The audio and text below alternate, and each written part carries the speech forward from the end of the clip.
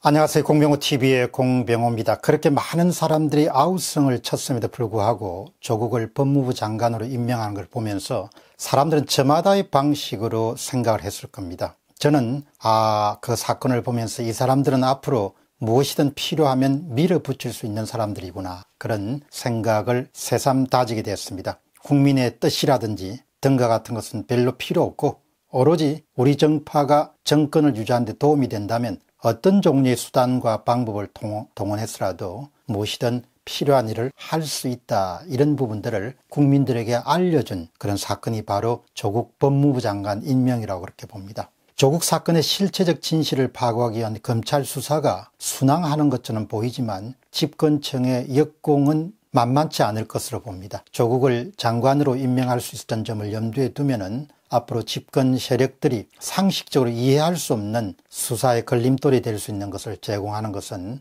눈 하나 깜짝하는 일 없이 이루어질 수 있는 일이다. 그렇게 저는 예상을 합니다. 첫 번째 질문은 석연치 않은 영장 기각입니다. 9월 11일 날 명재권 서울중앙지법 영장전담 부장판사는 검찰이 신청한 코링크 Private Equity의 이모 대표와 그리고 가로등 점멸기 제조업체 웰스씨앤티의 최모 대표의 영장 실질 심사를 실시하였습니다. 예상과 달리 모두 다 기각됐습니다. 명백한 범죄 행위에 관여하였고 증거가 있고 그리고 추가적인 조사가 필요한데도 불구하고 영장 이유가 석연치 않습니다. 따라서 영장이 기각되는 것을 보면서 저는 조국 사건의 실체적 진실을 밝히기 위한 검찰의 조사라든지 노력들이 앞으로 만만치 않을 것 같다는 그런 생각을 그때부터 어, 좀더 하기 시작했습니다. 특히 영장 전담 판사의 영장 기각 사유 를 이해하기가 쉽지가 않았습니다. 근데 이제 오늘은 더 중요한 일이 있습니다. 9월 16일 오후에는 검찰이 신청한 조국 가족 펀드의 핵심 관계자인 조국의 오촌 조카 조범동 씨에 대한 영장 실질 검사가 이루어집니다. 이제 앞으로 검찰 수사가 순항을 하려면은 그의 신병을 확보할 수 있는가 여부를 한 것이 대단히 중요한데 그것이 오늘 영장 실질 검사에서 판가름 날 것으로 봅니다. 법원이 만일나 조범동의 구속을 인정하지 않는다면은 이제 조범동과 조국 가족들끼리의 입맞추기와 같은 그런 협력 관계를 허용하는 것을 뜻하기 때문에 검찰 수사는 한층 더 난항을 거듭할 수밖에 없을 것이다. 그렇게 예상합니다. 법원의 공정성에 대해서 저는 이제껏 의문을 제기한 적은 별로 없었습니다. 그러나 이번 사건의 경우는 좀 다르게 봅니다. 조국의 안위뿐만 아니고 정권의 안위에도 영향을 미칠 수 있는 사건이기 때문에 집권청은 그들이 사용할 수 있는 모든 카드를 다 사용할 것이다. 그렇게 저는 예상을 합니다. 쓸 수 있는 카드는 물론이고 그동안 사문화되어 있던 모든 카드를 다 동원해서 검찰을 수사를 방해하는, 더디게 만드는 그런 조치들을 취할 것으로 예상합니다.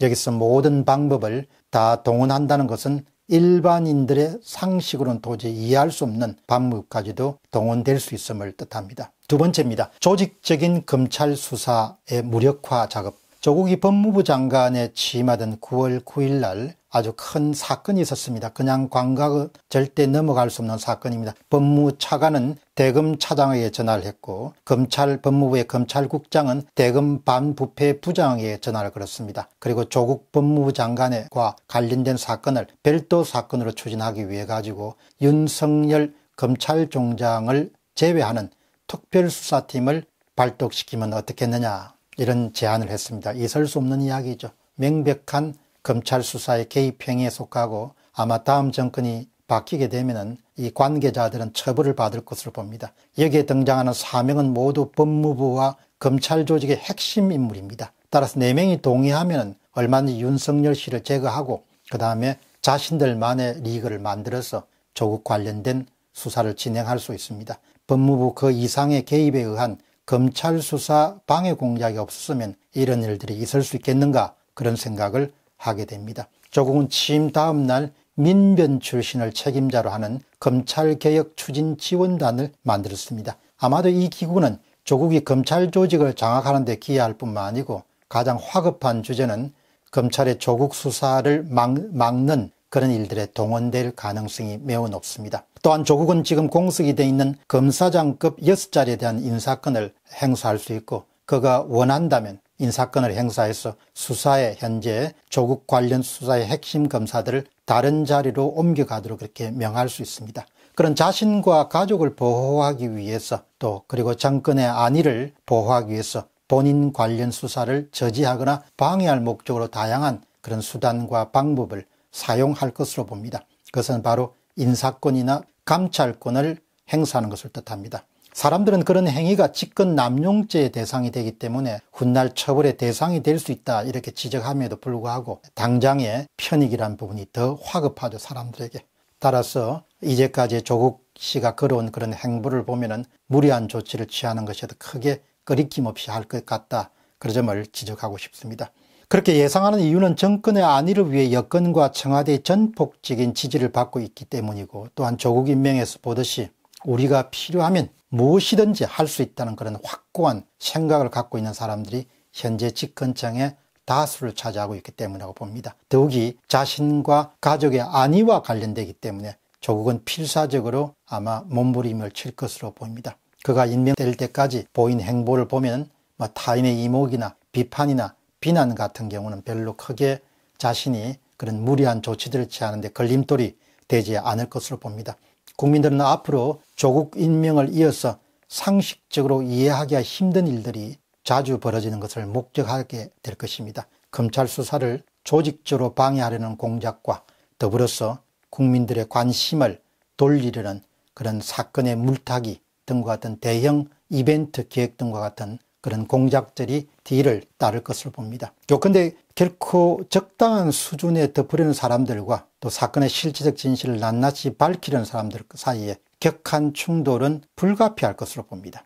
결국 진실과 거짓의 대결, 선과 악의 대결이 이 땅에서 우리 두 눈 앞에서 펼쳐질 것으로 봅니다. 저는 뭐 양식과 상식과 양심과 이성과 같은 것은 합리화 같은 것은 별로 기대할 수 없다고 봅니다. 검찰 조사가 순항이기 때문에 조국 사건의 실제적 진실이 낱낱이 밝혀질 것이다. 이렇게 생각하시는 분들은 지나치게 순진하거나 낭만적인 생각을 가지신 분들이다. 그렇게 어, 저는 봅니다. 따라서 앞으로 이번 사건을 관심을 가지신 분들은 예의주시하면서 얼마나 검찰에 대한 수사의 진행을 더디게 만드는 조치들이 실시되고 있는가를 관심 있게 지켜볼 필요가 있을 것입니다. 공병호 TV의 공병호였습니다. 감사합니다.